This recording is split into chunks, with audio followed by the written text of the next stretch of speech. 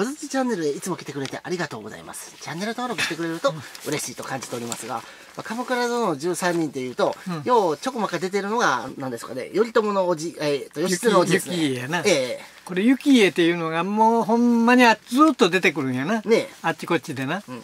それは出てくるはずでな、ん。これは、えー、と持人王が領領事を出すやん。ええ。で平家を追討せというような。ええ。ジャイアンね。そのその時に源三頼政要するにこれあの雪家っていうのは頼朝の叔父なんや。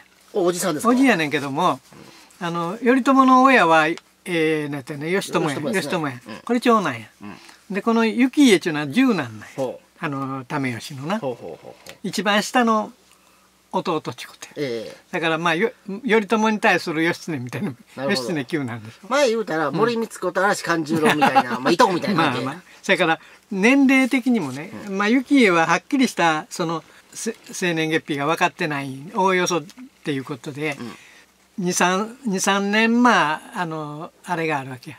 うん。大体この辺やろうっていう。まあプラマイプラマイ数年ってことですね。3,、うんうん、3年ぐらいあるわけ、うんうん。それからあの最長一番あの頼朝と年が違うとしたら6歳、6歳。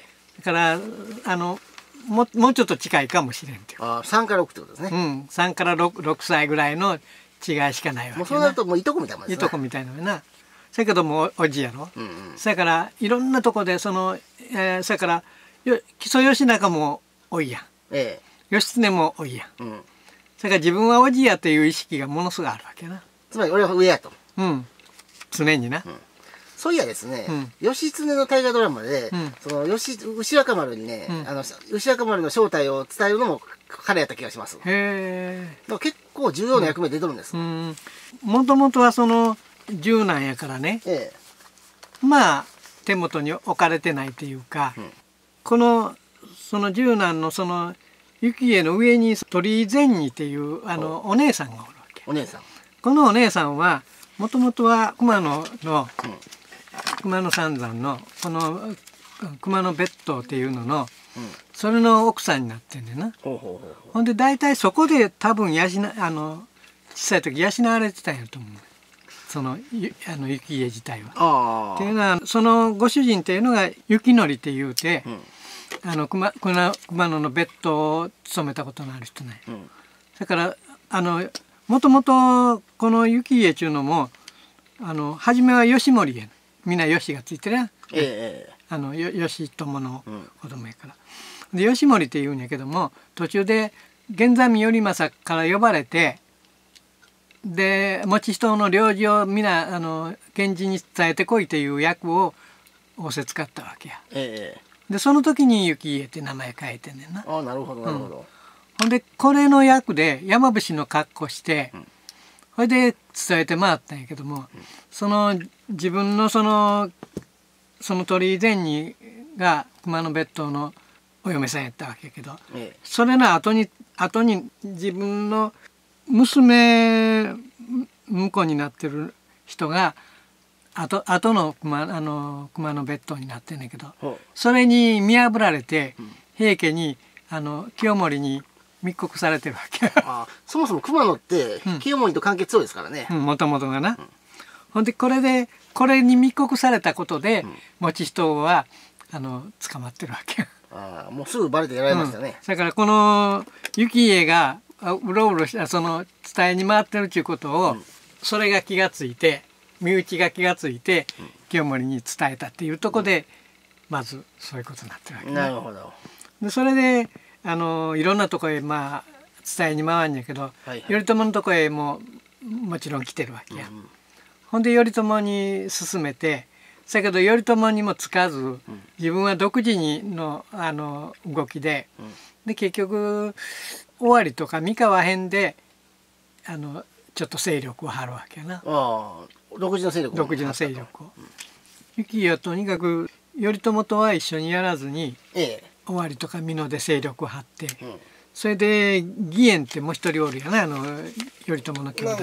いましたね。うんこれやだとあの須俣川って、まあ、あの辺やな終わりのね、ええあの辺なんかで戦してえそれで平家に重衡かなんかが来てほんで散々やられて、え。議員が死にましたね。うん、で義援は死んで自分はまあ逃げてまあ、あの義経が、うんあの議員に対してやったことがネットで話題になってました。ほああほんで結局頼朝のとこに逃げるんやんな。うほんで頼朝にまあ逃げてでよあの相模の辺で一応あの住んでんねんけども、その頼朝に自分も処理自分にも処理をくれって言うて行くわけやん。ほそしたら何もしてへんただ逃げて逃げてかかくまったっただけやのに、処理をくれっていうのは厚かましいわけやから、ええ。拒否するわけやまあみんな武士の手前もありますからね。なあほんたら自分はおじやのにっていうのがあるわけやんな。まあマウント取りたいですね。うん、ほんで結局それやったらわしは義仲のとこ行く言うて 義仲の方へほ行くわけやうああなるほど。なほんでそのうち義仲と頼朝が揉めることがあるやんあのあったやろ、ええ宇治川の戦いも行きますね。ほんであの時に義時があの交渉に行ってんだよなあの義仲のとこへあの北条義時が。ほんでその時に幸家を人質に出すんやったらあの仲直りするって和睦の交渉に行ってるわけや。義経、ええあの頼朝と義義仲のうん。揉めた時があるやろ、ありますね。うん、あの時に義時が交渉に行ってうん。それでその幸家を人質に出せと。ああよく言っておじさおんですね。じおじを。うん。あとは自分おじやおじやし、うんそれから自分は頼ってきたやつを出されへんって言うて断ってその代わりにあの義高は自分の息子を出してねああなるほど。10義仲を歳ぐらいの子供が鎌倉に行ったらその経緯ですね。うん、だからそそういう点で義仲はあのすごいって言う言われるとこがあるわけやそのおじを自分を頼ってきたもんを守るために自分の子供の方を人質に出したっていう、普通に考えたらおじさんの方が出したいですよね。うん、っていうのでうんあのそれなりにあの頼朝なんかも評価するわけやな。木曽義仲をな。な。うん、それでまあたあの助かってるわけや幸家は、ええ。そこで。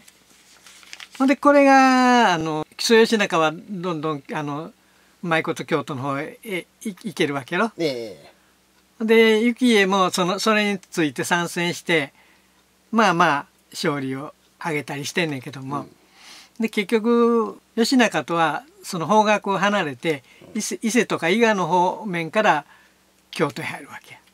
その間まあ戦いしながらやで。それでだ大体同じ時期にその京都へ義仲が京都へ入る頃に幸家も入るから、それで結局幸家は義仲とそのなんていうのあの競争で入ってきてどっちが上やっていうような自分はおじやからちゅうのでその自分の方がその前へ出よう前へ出ようとするわけや。そうなってくると仲間の武士とかも影響出ますね。うん。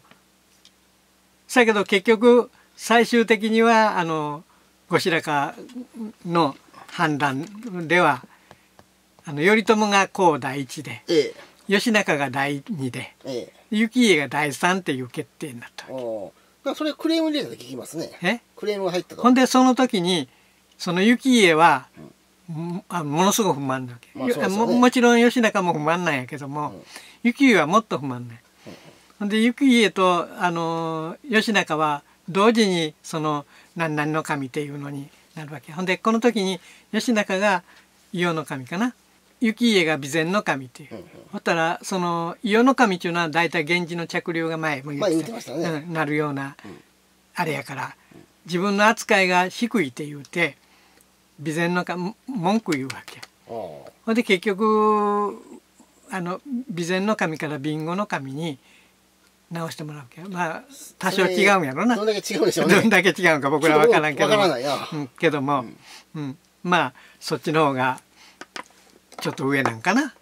気場所も近いですけどうん。うんね。ほんで結局それであの一応そういう格好で文句言う言うて変えてもうたりしてるわけや。でそのうちに結局義仲が京都で評判悪なるやん。ああありますね。でこのこのその任官の時やらでもちょっと義仲と揉めたりするから、ほんで自分もその京都をあの出た方がいいとえいうことで一応平家追悼ということで自分も出ていくわけやな。ほうほうほう。そしたら見事にあの平家と戦うて負けるわけや。あ あああ吉田が負けましたね。な吉永も負けたけど、ん。幸家も負けるわけや。ああそうですね。ほんであの京都へ帰ってくる、ってなことあってな、ほんで結局吉永とももう仲が悪くなるななってるわけやそこで。なるほど。ほんで結局吉永と仲は悪なったから後白河に頼っていってな。ほんで後白河に頼ってもう一回平家追討の時にはそのそれで兵を集めて戦いに行こうと思うけども義経ももう力なくなってる。幸家ももちろん人望ない、いうので誰も集まらんで結局義経とあの幸家と一緒になって大物らへ逃げるわけや。そうですね。あの義経の大河ドラマでも、うん。その義経の兵がちょっとだけ集まったけどっていうのはそのおおじさんの兵だけだったみたいですね、うん、だからどっちもがそのそういう四国地頭、あのあ九州地頭っていうことで、それでそそそういう地域の人間やらも皆集められると思ったけど誰も寄ってこないわけやわな。それはね、うんまあそりゃそうだほんで人結局あの大物浦のとこであの船がひっくり返るもんやから、で幸家は結局京都へ帰ってきて帰ってきて、でそれからい泉って言ってあの和歌和歌山に近い方え大阪と和歌山の間の、あの辺でか隠れるわけや逃げ逃げて、で地元のあのなんていうの大官みたいなそんなとこの家へ隠れてんねんけどもそれを結局密告されて京都へ連れて行かれて首切られるわけ。えほんまねこの人あれですね風見鶏みたいな人ですね。でこの時のなその後白河にその四国地頭やとか九州地頭とかな、任命してもらうとかなもうその弁舌巧みなんやってものすごい。もうとにかくあのもうものすごいその話はうまいし、うん交際上手やから後白河なんかともそのすごろくの相手としてしょっちゅう遊び遊んでるわけ一緒に。でそういうそのそういう才能はあんねんけどもその軍略の才能は絶対ないわけ。そうですね、それからそういう一生でとにかくあの、えー頼朝に頼り義仲に頼り義経に頼り、でそれ全部おいやんか。えほんで頼りながらも結局自分はおじっていうスタンスをいつも持ってるえわけ。その立ち立場に甘んじた人ですね。そうそうそやからね。あの当然人望はないわな。それは偉そうにしてる人間には人はつかないですね、な、うん、うだから、うん、そういう人間やねんけどもこれがとにかく持ち人のその領事の時から動いてるわけやからこれも重要人物ではあるわけや。ものすごい。そう考えたらこの人は行動力は評価すべきですね、そうそうそうそう。よう動いてそれでもうちょっと気に入らんとすぐ気が変わってあの別の人間とくっつくっていう。なるほど。皆様はこの人をどう思われますでしょうか？コメント欄にいろいろお書きくださいませ。いつもいてくれてありがとうございました。また会いましょう。バイバイ。面白い人物ですよそういう意味でね。